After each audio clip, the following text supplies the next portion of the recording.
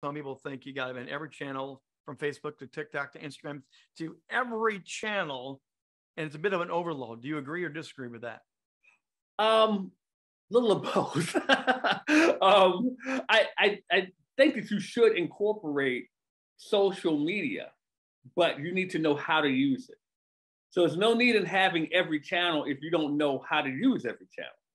So, like for instance, I don't use everything on social media that's out there. And because I don't think it's necessary for me to. Now, one thing about it is from the time that one social media comes, another one comes along, one becomes obsolete, one way of using it becomes different than it used to be. So it's like, you know, when when Facebook is not what it used to be. I mean, TikTok has just blown up now all of a sudden. And I, I just heard someone saying last week, one of the biggest social media forms out there right now for businesses is Pinterest. Really?